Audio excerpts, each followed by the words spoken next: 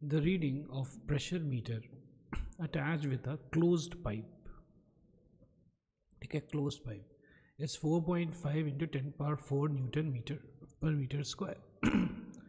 So uh, we have to again apply here the Bernoulli's equation. So what is the Bernoulli's equation? P plus rho GH plus half rho v square is equal to constant. So therefore when the water is not flowing the velocity of the water is zero. So in the first case first case we are writing this is closed. So therefore here what we can apply is p1 plus rho g h plus half rho v square is equal to constant. Here velocity is zero. Okay?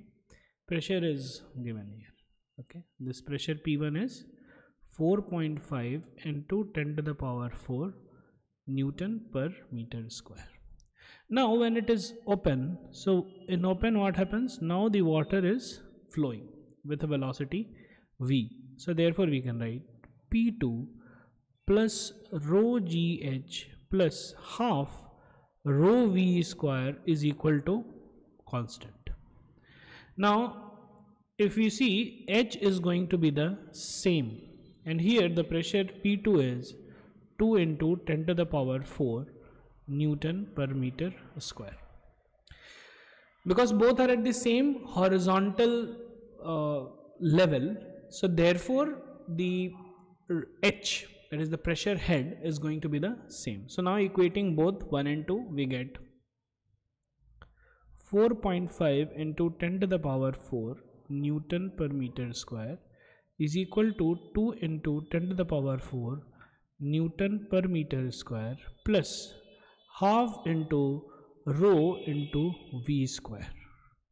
So therefore v square is equal to 2 into now we have to minus this. 2 into 2.5 into 10 to the power 4 kg ms minus 2 divided by meter square. And divided by rho what is uh, the density of water? It's not given so we assume it 1000 kg per meter cube.